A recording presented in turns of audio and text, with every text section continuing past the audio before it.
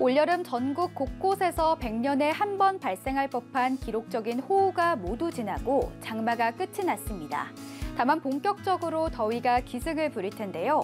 구름이 많은 서울은 현재 31.2도로 기온은 다소 낮지만 습도가 높아 체감 32.4도를 보이며 퇴근길에도 여전히 후텁지근하겠습니다.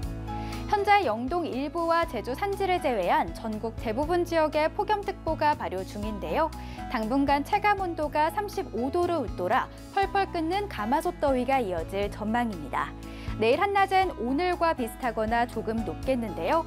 서울 32도, 대전 33도, 광주와 제주 34도, 특히 대구는 36도 선까지 치솟겠습니다. 지난 밤 사이에도 속초의 최저 기온이 30도로 이틀째 초열대야가, 서울은 26.3도로 9일째 열대야가 관측됐는데요.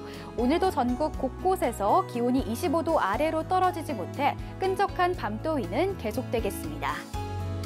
오늘 저녁까지 강원 남부에 빗방울이 떨어지는 곳이 있겠고 강원 산지엔 바람이 순간 풍속 초속 15m 안팎으로 강하게 몰아치겠습니다. 반면 내일 동해안과 남부를 중심으로 맑은 하늘 아래 볕이 강하게 내리쬐며 자외선 지수가 매우 높은 단계까지 치솟겠습니다. 물을 자주 마시는 등 건강 관리에 힘써 주셔야겠습니다.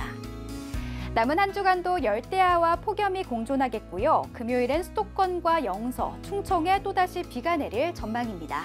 지금까지 날씨 전해드렸습니다.